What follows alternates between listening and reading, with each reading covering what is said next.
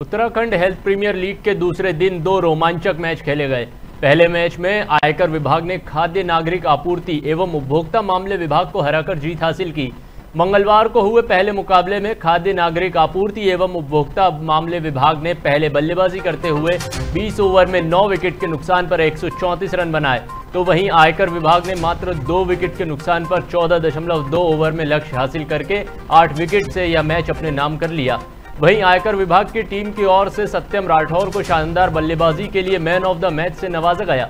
वहीं दूसरे मैच में सीएमओ देहरादून ने पीडब्ल्यूडी को मात देकर अपनी स्थिति मज़बूत की।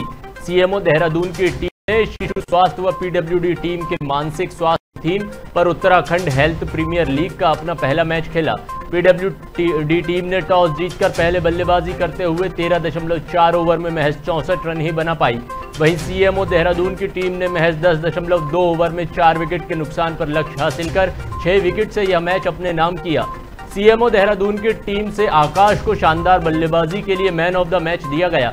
खास बात यह रही कि यह मैच दो महत्वपूर्ण सामाजिक उद्देश्य के लिए भी आयोजित किया गया था, जिसमें उत्तराखंड को टीबी उन्मूलन करने के लिए और मातृत्व स्वास्थ्य से संबंधित जानकारियों को आमजन तक पहुंचाना था। जिसके तहत विभाग ने टीबी को लेकर समाज में जागरूकता फैलाने और उसके खिलाफ लड़ाई में योगदान देने के लिए संकल्प लिया।